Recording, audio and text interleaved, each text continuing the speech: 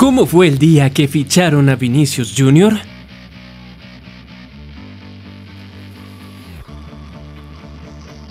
El Real Madrid llegó a un acuerdo con el equipo brasileño Flamengo para fichar al delantero Vinicius Jr. en julio de 2018. Este acuerdo por el jugador de 16 años en ese tiempo tenía un valor de 46 millones de euros o 39,6 millones de libras, lo que lo convertiría en el segundo fichaje más caro de la liga brasileña en la historia. El más costoso fue Neymar cuando se unió al Barcelona, quien se mudó del Santos en 2013 por un estimado de 86 millones de euros un jugador con el que Vinicius ha sido comparado. El Barça en ese tiempo también se interesó por Vinicius, pero no tuvo éxito en su intento de ficharlo. El adolescente en esos momentos jugó 22 partidos con la selección sub-17 de Brasil, anotando 19 goles y fue el mejor jugador en el campeonato subamericano sub-17, en el que la selección brasileña se coronó campeona y fue mayor goleador con 7 tantos.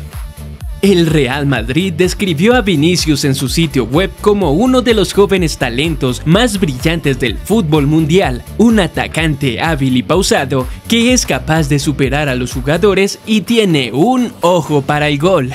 Un comunicado que fue emitido por el Real Madrid dijo que el club sería dueño de los derechos del brasileño a partir de julio de 2018, cuando el jugador cumpliera 18 años pero permanecería en el Flamengo hasta julio de 2019, a menos que ambas partes acuerden lo contrario. Los informes de España sugerían que el acuerdo valía alrededor de 38 millones de libras. En ese tiempo, Vinicius Jr. hizo su debut en el flamenco después de impresionar para Brasil Sub-17 en el Campeonato Sudamericano Sub-17 en Chile. Terminó la competición como mayor goleador con 7 goles y fue nombrado jugador del torneo. Estaba claro que los gigantes de Río de Janeiro se esforzaban por facilitar que su niño maravilla entrara en acción. Solo cuatro partidos en esas dos competiciones fueron suficientes para hacerse notar desde el inicio, donde fue usado principalmente como sustituto de impacto en los últimos 10 a 15 minutos, utilizando su impresionante ritmo y capacidad para grabar aún más las defensas agotadoras. Esa política rindió dividendos en los cuartos de final de la Sudamericana del Flamengo contra los rivales de Río, Fluminenses, Vinicius cambió la cara del juego después de entrar en la segunda mitad, ayudando a su equipo a defender de dos goles abajo para obtener un empate 3 a 3 y avanzar a los últimos cuatro. Jugando en su flanco izquierdo favorito y causando caos, el joven hacía recordar los primeros pasos dados por Neymar en el Santos.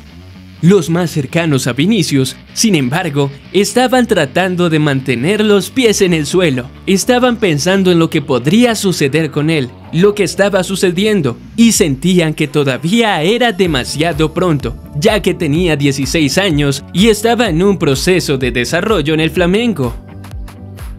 De hecho, una presentación ineficaz en la propia final de Copa contra Independiente demostró que aún quedaba un largo camino por recorrer en su desarrollo. Lanzado de nuevo después del descanso en una posición perdedora, Vinicius fue intimidado fuera del juego por el marcador intransigente del equipo argentino y se frustró lo suficiente como para recoger una reserva cuando el flamenco se desplomó a la derrota. Ese partido desarrolló deficiencias en su físico que tendría que trabajar antes de que el joven estuviera listo para dar un paso adelante en la acción regular en el primer equipo del Flamengo y mucho menos para el Real Madrid. La buena noticia es que tuvo mucho tiempo para continuar perfeccionando su oficio antes del gran movimiento. Vinicius técnicamente se convirtió al blanco en julio, a cumplir 18 años. En esa fecha se esperó que un nuevo acuerdo de préstamo lo mantuviera en Río por otros 12 meses. Siendo paciente, el delantero insistió que no apresuraría su movimiento en 2018. Entre 2018 y 2019, Vinicius fue una de las pocas chispas brillantes para el Real Madrid, ya que el Real había pasado por tres entrenadores diferentes, no pudo lanzar un desafío legítimo por el título de la liga y fue eliminado prematuramente de la Copa del Rey y de la Champions.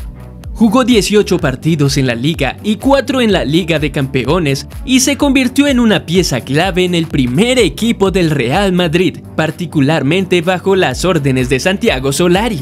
En marzo de 2019, sin embargo, Vinicius sufrió una lesión en la rodilla contra el Ajax que lo mantuvo fuera durante dos meses y lo llevó a perderse la convocatoria al equipo de Brasil para la Copa América 2019.